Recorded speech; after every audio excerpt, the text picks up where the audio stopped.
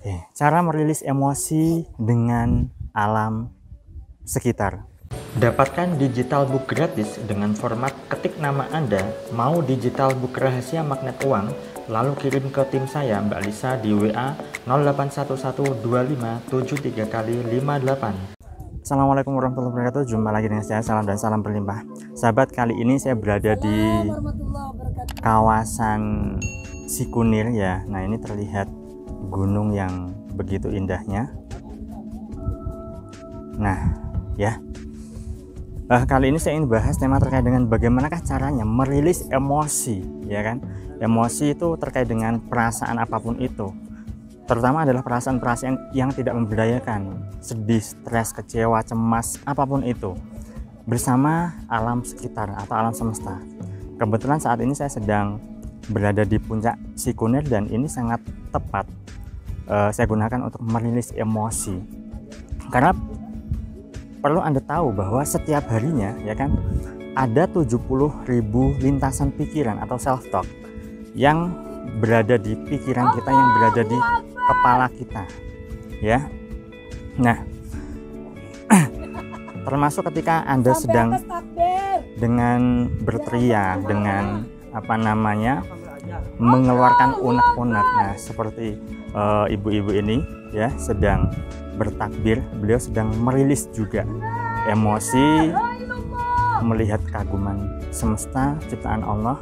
Ini salah satu cara untuk merilis emosi membuang sampah-sampah pikiran, membuang hal-hal yang tidak tidak memberdayakan dalam diri kita. Nah, jadi Anda boleh teriak sekencang-kencangnya, ya, Me mengagumi ya kekagum uh, ciptaan Allah, ciptaan semesta sehingga yang terjadi adalah Anda menyelaraskan diri dengan dengan semesta, dengan alam. Anda menyelaraskan diri dengan apa-apa yang Anda lihat di alam sekitar ya kan? Di pemandangan sekitar sini misalnya. Nah itu termasuk cara yang sangat efektif untuk membersihkan atau mengikis ego-ego Anda, membersihkan semua hal-hal yang tidak memberdayakan di dalam diri Anda, sahabat. Saat diri Anda terbersihkan, bisa saja mental block Anda juga akan ikut terkikis, akan luruh alhasil apa? Ya anda akan lebih berdaya anda akan lebih baik cara berpikirnya anda akan lebih baik sudut pandangnya anda akan lebih baik perasaannya. Ya. Karena seperti yang sering saya katakan adalah rasamu itu adalah doamu. Apa yang anda rasakan itu adalah doa yang sesungguhnya.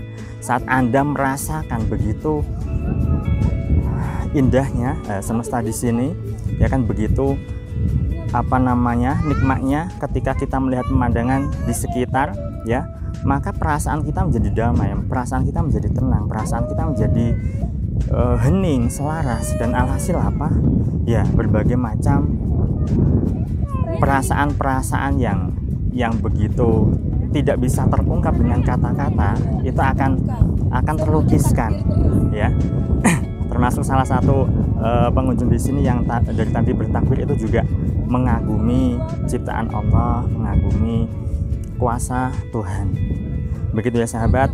Jadi sesekali silahkan Anda pergi ke alam, berbaur dengan alam, merilis emosi, membuang sampah-sampah yang ada di dalam diri Anda, membuang sampah-sampah pikiran, membuang hal-hal yang tidak memberdayakan di, di dalam diri Anda.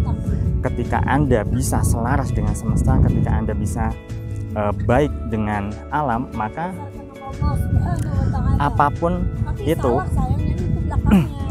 Anda akan mendapatkan berbagai macam hal-hal yang mungkin Anda rasa ajaib, Anda rasa apa namanya uh, baik, ya keberuntungan-keberuntungan bisa Anda dapatkan. Yang terpenting adalah terkait dengan rezeki, hati bahagia, rezeki akan datang.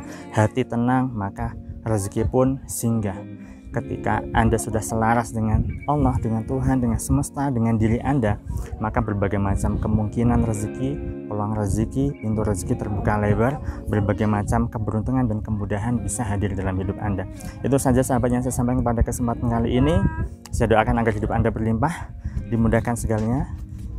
Saya salam terima kasih dan salam berlimpah. Assalamualaikum warahmatullahi wabarakatuh.